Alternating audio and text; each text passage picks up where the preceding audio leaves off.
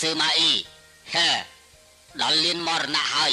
កុំចង់រត់គេចឲ្យសោះណាមុនពេលដែលជូកើលៀងស្លាប់ជូកើលៀងបានប្រើប្រាស់នៅយុទ្ធសាស្ត្រពីរគឺយុទ្ធសាស្ត្រអាវស្រី និងយុទ្ធសាស្ត្រដុតស៊ឺម៉ាអ៊ីនៅក្នុងរឿងសាមកុកចាស់និងរឿងសាមកុកថ្មីជូកើលៀងបានប្រើប្រាស់នៅយុទ្ធសាស្ត្រពីរនេះដូចគ្នាក៏ប៉ុន្តែអត្តន័យខ្លឹមសារខុសគ្នា នៅក្នុងរឿងសាមកុកចាស់ជូកើលៀងបានប្រើប្រាស់យុទ្ធសាស្ត្រដុតស៊ឺម៉ាអ៊ីជាមុនទើបប្រើប្រាស់យុទ្ធសាស្ត្រអាវស្រីតាមក្រោយ ត្រង់ចំណុចនេះ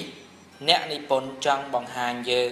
អំពីភាពអស្ចារ្យរបស់ជូកើលៀងជូកើលៀងគឺជាមនុស្សដែលមិនទាល់ច្រកឬមិនទាល់គំនិតនោះទេទោះបីជាដុតស៊ឺម៉ាអ៊ីមិនទាន់ស្លាប់ ក៏ជូកើលៀងមិនទាន់អស់តម្រេះមិនទាន់អស់គំនិត ឬមធ្យោបាយដើម្បីកំចាត់ស៊ឺម៉ាអ៊ីនោះទេ នៅពេលដែលជូកើលៀងដុតស៊ឺម៉ាអ៊ីមិនទាន់បានសម្រេចជូកើលៀងនៅតែខិតខំរិះរោបនៅមធ្យោបាយចុងក្រោយមុននឹងខ្លួនស្លាប់ គឺយុទ្ធសាស្ត្រអាវស្រីនោះឯងចំណែកឯរឿងសាមកុកថ្មីជូកើលៀងប្រើប្រាស់នៅយុទ្ធសាស្ត្រអាវស្រីជាមុន ហើយប្រើប្រាស់យុទ្ធសាស្ត្រដុតស៊ឺម៉ាអ៊ីតាមក្រោយ ត្រង់ចំណុចនេះ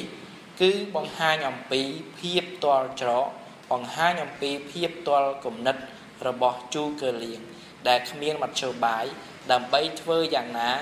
ឲ្យស៊ឺម៉ាអ៊ីចេញមកច្បាំងតទៅទៀតទេតាកតងទៅនឹងការសម្ដែង ការប្រើពាក្យសម្ដី ការរៀបចំនៅក្នុងឈុតឆាកមួយនេះ នៅក្នុងរឿងសាមកុកថ្មី គឺអន់ជាងរឿងសាមកុកចាស់ទៅទៀតប្រសិនបើមានកំហុសឆ្គងដែលកើតឡើងដោយប្រការណាមួយសូមមេត្តាអធិស្ឋានអរគុណសូមសំណាងល្អ